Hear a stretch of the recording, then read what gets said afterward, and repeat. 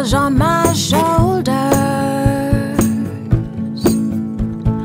Pressure to break or retreat at every turn.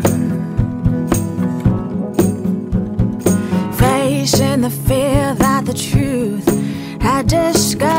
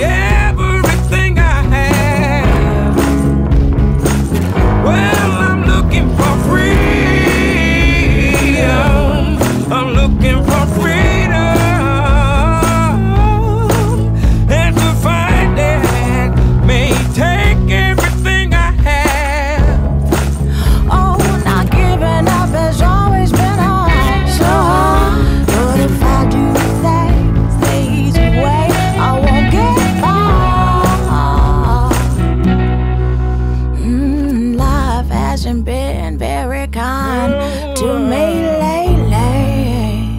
Well, but I suppose it's a push for moving on.